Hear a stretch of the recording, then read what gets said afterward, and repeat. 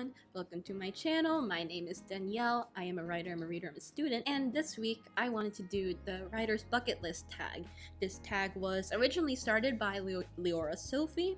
She is another author tuber. She has made some amazing videos. I highly encourage you to watch her and I will link her stuff down below. Also, Thank you so much for 100 subscribers. So thankful for everyone who has decided to subscribe. Because of that, I wanted to do a giveaway. And this giveaway is not going to be one where just one person or a few people win. This is gonna be, as long as you enter, you are getting something in return. So everyone wins. So please, I will be leaving details at the end of this video on how to enter. But yeah, let's just get started in the tag. So the first question is which famous author would you love to have read and comment on your work. First reaction is to say Marie Lu. I don't know if you know this, but I am quite the fan. I don't know if I would love to have Marie Lu comment on my work unless it was outright praise. The woman that I have idolized throughout my entire teenage life. I would like to have my book blurb. If she were to actually be like a critique partner, I would crumble. Samantha Shannon, she wrote Priory of the Orange Tree. I love her book. I love the world building. It was fantastic. Love it. And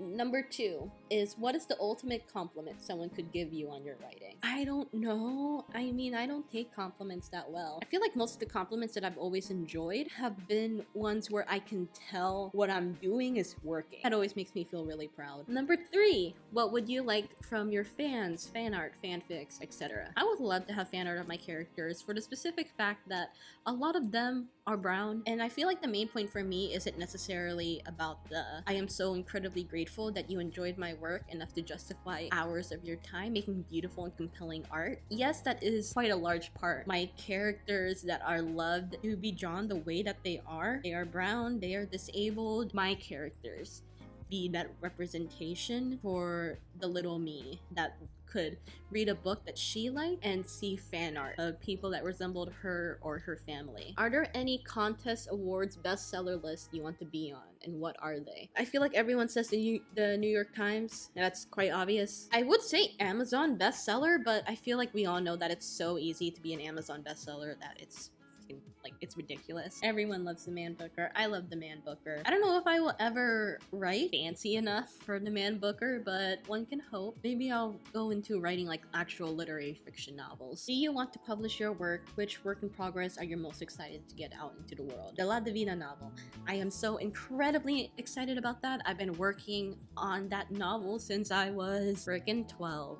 so it's been a hot second, right? That is one that I am most excited to publish in general. However, a lot of my focus has been on my chapbook happening next year, and it's pretty much July already. That freaks me out. In short, what I'm most excited in general, the La Divina novel. What I am most excited as of right now, my chapbook. Do you want to be traditionally published, and what is your dream publisher? Very much lean towards the idea of self-publishing. That is to say that I am not hard ruled against traditional publishing. Absolutely not. Maybe one day. However, as of right now, comes to my fantasy novels, I'm thinking self-publish. And when it comes to my chapbook, I am very much leaning towards self-publish. However, if I were to be traditionally published, what are some of my dream publishers? One of the big five, obviously, is what everyone says, Simon Schuster, uh, Penguin Random House, all of that. You want to publish independently, and what is your goal as an indie author? Funny you say that. I am actually, as of right now, planning to publish independently when it comes to my chapbook and also my La Divina novel. My goal as an indie author, as of right now, is to make a part-time living. That isn't just applying to book sales, that's also applying to hopefully one day YouTube, blogs, that kind of thing. Which genres have you never written in that you'd like to try? I've recently been on a little bit of a horror binge recently. I have been reading all of Nick Cutter's stuff. Fantastic man. Love all his stuff. Tender is the Flesh is like a dystopian horror. One of my favorite things about writing specifically is psychic distance and atmosphere. Horror just so happens to be a genre that utilizes both of those writing tools to make an incredible and rich story that is going to scare the pants off of your readers. I have read a lot of horror books that have not scared me, double onto the fact that I'm not that scared of a lot of things. So I feel like it would be a fun challenge to write horror, but a manageable one. I love a good rom-com book, who doesn't? And I feel like it would also be incredibly interesting going through the experience of writing a rom-com book when I am on the asexual spectrum. I've always included like asexual representation. However, writing in a genre that seems to be the antithesis of asexuality, I think it would be interesting. Do you want to write full time?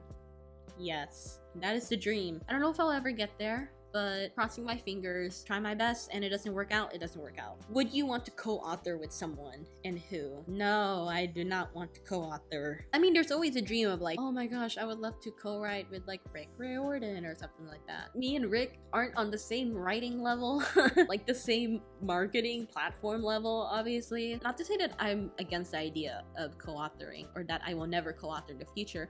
If I do, I do.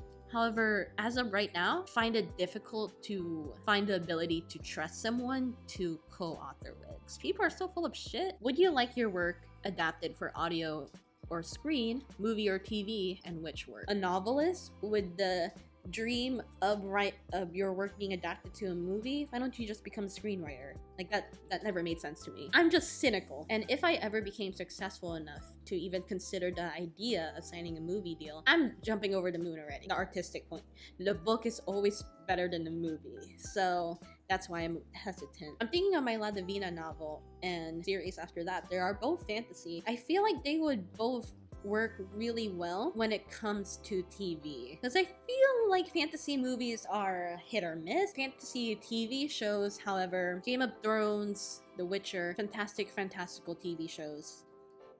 Which languages would you like to see your work translated into? I would want to see my work translated into Tagalog so that my family members who can't speak English can read it. Oh my god, that made my heart hurt. And of course, me writing a fantasy book inspired by the Philippines and it being translated into Tagalog when I am Filipino. The Pinay pride that would consume my heart. Tagalog, obviously, and also Spanish. I mean, Spanish is the second most spoken language in the US. I could read, write, understand, and kinda speak Spanish. Incredible to be able to read my own book in my second language. Do you want to be famous? Describe a scenario that illustrates how famous you want to be. I think I just associate the word famous with like negative terms. Do I want to be famous for fame's sake? No. But I want to be famous for the sake of the practicality of being able to live sustainably off of my books? Such a boring answer. I want to be able to confidently walk in any bookstore and nine times out of ten, they will have my books and I can just say, I'm an author. I want to sign some of my books here. Neil Gaiman energy. Where slash on what platform would you like to be interviewed about your work? Book tour, panel, talk show. I feel like a book tour. Again, one of those huge milestones. You're being paid to travel. And yes, you're working the whole time. But you can also like go see Pittsburgh while you're there. I would also like to be on a book panel, specifically about the identities that I personally experience. What is a writing or book related event that you would like to participate in as an author? BookCon seems fun.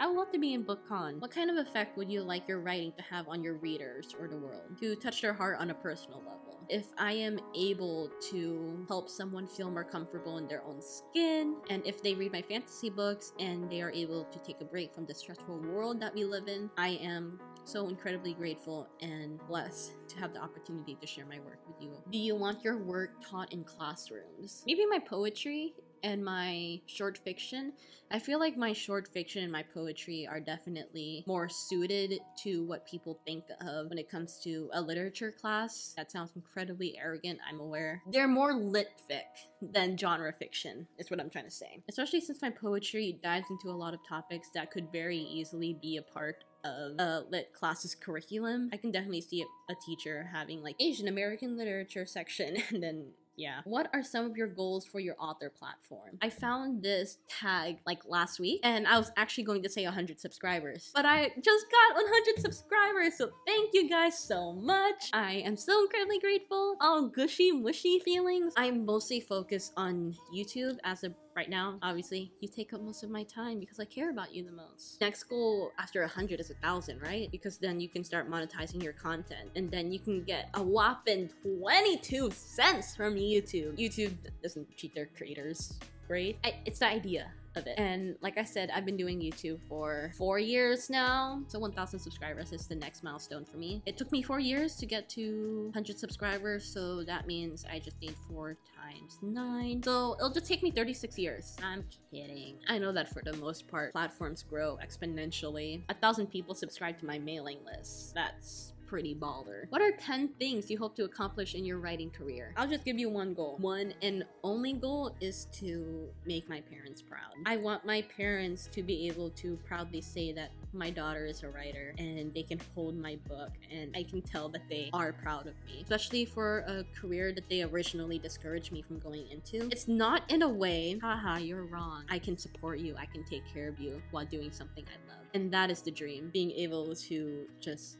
make them proud and being able to also say, I know that you didn't think that this would be a viable option for me, but it is, and thank you for giving me the opportunity to do this. Everyone wants to make their parents proud, but I feel like it hits especially close to home for children of immigrants. You know what I mean. It's a little bit deeper. While I have all of these goals to like get to a thousand subscribers on YouTube, to sell 100 copies of my book, those are all fantastic. However, those are all stepping stones to lead to the goal, being able to make my parents proud. I'm not getting warm, you're getting warm. I don't know what you mean. Number 20, what is the most inconceivable dream you would love to see happen with your writing? I have family living in LA, especially especially Glendale, and we would oftentimes go to Americana. I would love to go to that Barnes & Noble with my family on just like an afternoon evening while we're waiting before going into a movie, and they see my book on the shelf. One of my cousins picks up the book and says, this is Ate Danny's book. Mm Guess what time of the month it is? I'm getting really emotional. Are there any milestones you've already hit in your writing career? Obviously, I got my work published. I can say that I'm a published writer now. Poetry, I've published fiction in lit mags, journals, anthologies, that kind of thing. I have my own website and I have my own domain name. I have a hundred subscribers on YouTube. Oh my gosh! Right? That's I'm so incredibly thankful for you guys to be here. Speaking of that 100 subscribers, let's talk about that giveaway now, shall we? So the prize is going to be a free critique of about 5,000 words or less. And if you're going to send me poetry, please send me no more than 5 poems, the max at 10 pages. Like original fiction, poetry, I already told you that. It could be fan fiction and Wattpad, doesn't matter. All you have to do to apply is to drop your email in the first link down below. That's going to be my mailing list. And with that same email, send me your piece and I will happily critique it for you. And additionally, I will be sharing your work on here. Mind you, I'm not going to be sharing a literal copy of your story. I will be taking out like bits and pieces. I might put like a paragraph or two, kind of provide context, not just for you, but specifically the audience watching me critique your work. And the deadline to give me anything will be on